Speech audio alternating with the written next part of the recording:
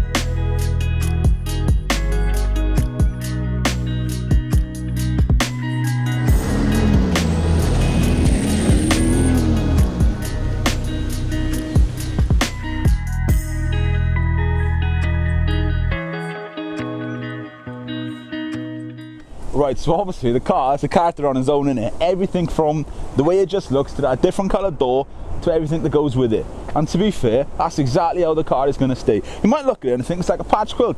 And no, no, no. It's got some rare parts in it as well, to be honest with you. And it's a character. The car is honest. I'm not trying to hide anything. Just check the front, right? It's basically US spec anyway in it. All that's filled in. I got some very, very rare Omega headlamps on it. Amiga lenses on headlamps, you know. Rare. With the US front bumper on there.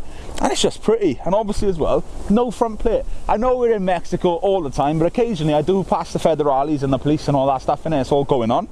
No hassles, no dramas. And interesting, when you go to cruises as well, you see no front number plate on these cars. Go past them, they pulled over. Where's the no plate? I think they say to Dan all the time, oh God, here we go. Thumbs up. That's why the little bug brings everyone joy.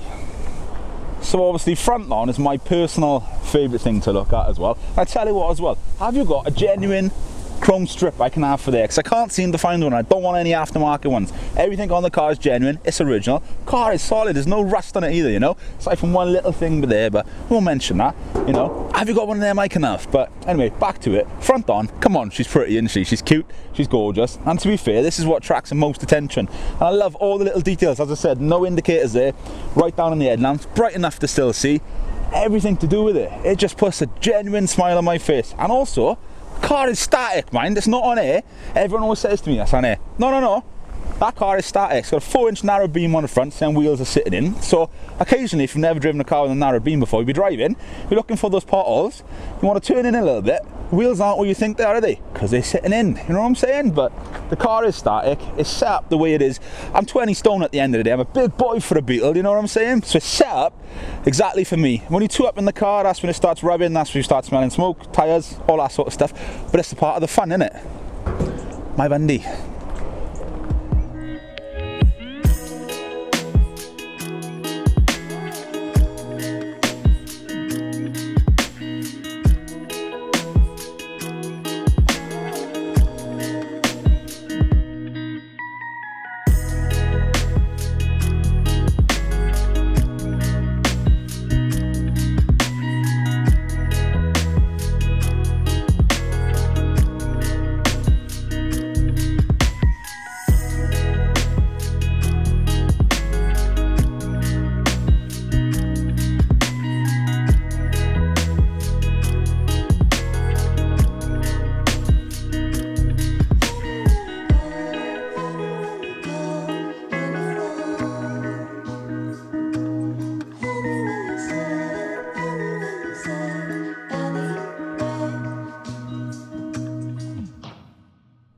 So obviously side on, it is a couple of different colours in places because it's a 65 car, it's a deluxe model as well, which means I got the fuel gauge, etc.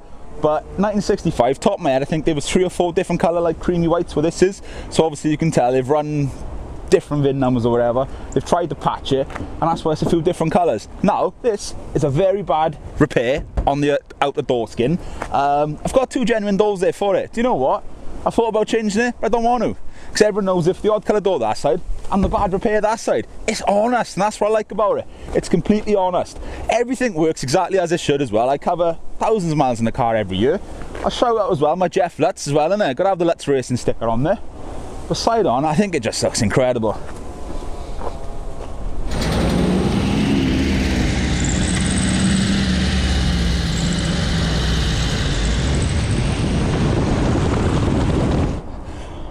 Question I'm always asked as well, what tyres am I running? On the rear, I got 165 15s, Firestones, got to be done having it.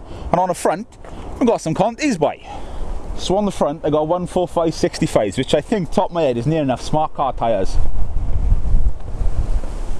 So visually, you might notice there's no rear bumper. Now I do have a genuine US bumper to go on the back, new bracket mounts everything, and to be fair, I've thought about it, but I just love it without it. It just looks that sleek little, you know, it, it just adds to it. Got some genuine red rears on the back as well. Um, so again, going with that US spec style really, isn't it? And I think top my head, you can run red rears before 1966 legally. So they're MOT compliant and everything. And don't forget, this car being 1965, it's MOT exempt, it's tax exempt, and it costs me about a 86 pound fully comp insurance on it and that's for doing 5,000 miles with 28 days European cover and a guaranteed value of uh, six and a half grand. But to be fair it's worth a lot more than that. To me it's worth a lot more than that anyway but I think being a 65 bug I've had genuine people want to buy this at about eight eight and a half thousand not even joking and it's going nowhere. The engine alone I've got paperwork for the engine alone under there.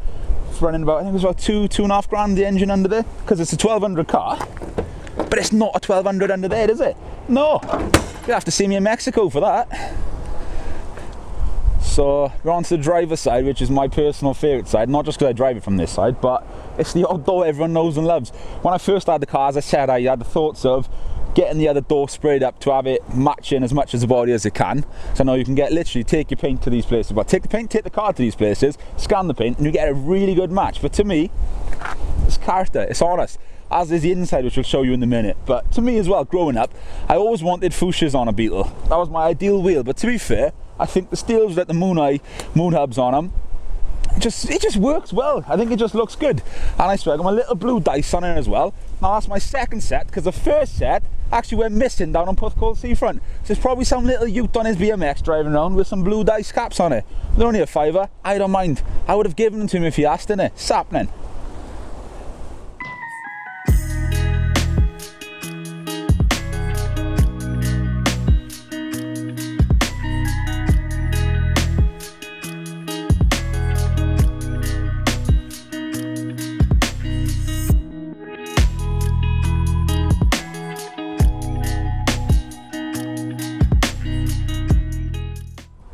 So as well, a lot of people ask, why a Beetle? There's a lot of reasons why. Growing up, I absolutely loved Herbie, as I think everyone did with, with bugs. Um, always wanted one from a young, young age. Always wanted one. This is actually my third Beetle. I say, well, all good things comes in threes, doesn't it? It's happening. I don't know, does it? But it was the third one. It's the one, you know, know, you just sit in a car, right? And literally, you think, that's the one. No matter what you want, whatever you've got to do to get it, that's the one. And for me, that's that's what's going on. I love the fact as well, I can drive it anywhere and I'll stop and people will come up to me and tell me about a conversation about maybe their dad had one or their granddad had one, etc. Not being sexist there, might be in the grandma too, you know what I'm saying? But, you know, and they can remember going around places and as a kid, you know, five, six people in a Beetle, which I think is awesome. And and just the whole scene and the culture behind them as well, you know. Shout out Hayburner as well, Ned. It's happening. Um, but that's what I love about Beetles as well. No matter where you are on the world, you're all this community. Like you drive down the road, see another air cool coming at you, you know, it's always tails up, or it's a wave, or it's a flash of the lights, etc and that's what I love. And I'm noticing as it goes on as well. It's, I know it's this whole stigma of air cooled Type 25 and maybe T4 at a push. That's where it stops. You know, T5, T6. Even though I am a T6 owner, um, there's a bit of stigma with that. But I'm noticing a lot more vans as well are waving and you know smiling or whatever, which is quite nice. So it is all culture. It doesn't matter where you are in the world You can chat someone with Beetles or air cooled, and you can have a good conversation. Just like I was in Welderup in Vegas last year. I was literally speaking to Steve Darnell about Beetles. Picture up on screen, and so that's what's cool. They've got a lot of love, a lot of following, and basically it's Porsche, innit? It's happening. And what I liked with this particular Beetle as well, obviously when I seen it, fell in love with it, went and bought it, and I said I'll never ever sell the car. But I was lucky enough as well for another owner who had it about 10 years ago, dragged the car out of a barn, because I actually sat in a barn for I think it's about 10, 15 years or more, and pictures of it in like sort of raked like this, big drag wheels on it, little um, hot rod pinstriping, so pictures up the screen on that. It's nice to have, you know, their memories and stories to go with it. So inside, as you can see, I'm literally not hiding anything. It is what it is. I've got a skateboard wheel as my accelerator. You know what I'm saying? That's how funky this car is. Uh, got a different interior for the car. Don't want to put her in. Got door cards. Don't want to put them on. It's literally like a skeleton in here. There's no carpet. I got roof lining, genuine roof lining. Mass about it it's originality for me. You know, I can drive it, I can jump in it. Doesn't matter if my feet are dirty. Doesn't matter if it's full of sand. I can just give it a clean out. You know, everything in here works. Speedo works. Lights up blue in the night. That's quite nice. And the engine in the back now, it's got 3,738 miles on it because the clock was changed when the engine was done. I know even my fuel gauge, everything literally works in here. No, nice place for water holder there's no cup holders in here. I know you can get aftermarket things down here, but I got quite big legs. I don't want to catch them. But yeah, that's my 65 Beetle. So obviously in the back as well, you have like a bit of accessories to go with it. I got a genuine 1960s Coca-Cola cooler, which when I seen that for sale, I had to buy it. Stays with the car, and a Mexican blanket. And in the very back, I got my front plate. Should I need it, you know? But on the off chance. So that's what's nice about these things. Same as put my sun visors off, right, to clean them. Year and a half later, still no sun visors, but visually doesn't matter in it. I shine bright anyway.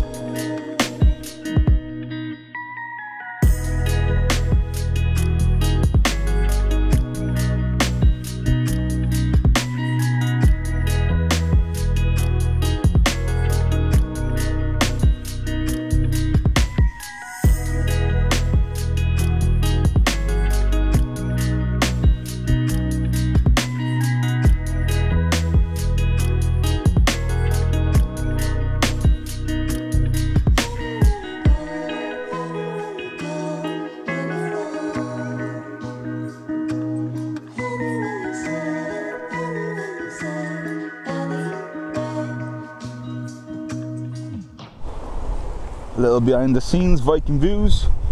Ooh, shoes on the other foot now. Ah, I got shoes on. I got shoes on, but I got a camera in my hand. That's what's going on. He's looking at me in disgust. He's thinking, what am I doing? No, check this out, right? I don't need a cameraman. Check this. Cinematics, boy. Is that steady? Is that how we do it? you know, check it out, right? You might not need a cameraman, but you do need a writer, an editor, a director. You need all these other things, don't you? To be fair, he does do everything. I do nothing apart from rock up and chat. What's happening? Here we go, camera.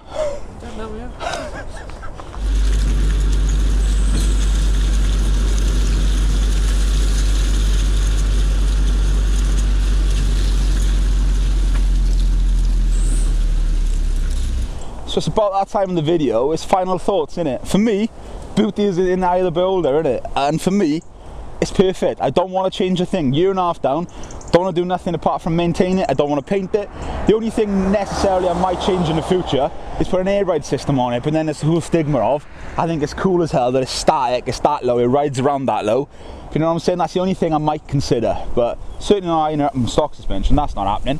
So yeah, I just love the car, and at this point as well, I want to say thank you very much for everyone that just well was watched that video for a start, but has subscribed to the channel, is liking, is interacting with us, you know, seeing us out on bits. Also, you know, if you want your car here and have a bit more of an in-depth one as well, bring it here. If you've got something cool, German, Jap, fast, American, it's all going on. We would love to have you. You can be in it, you haven't got to be in it.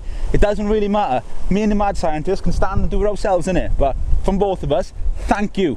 And please share it, like it, it helps. It costs nothing to share the video. It costs nothing to subscribe to us. Hit like, it helps us out in the long run. Brings us some more cool stuff that we can bring you. You know what I'm saying? So until next time, we're done. Boosh.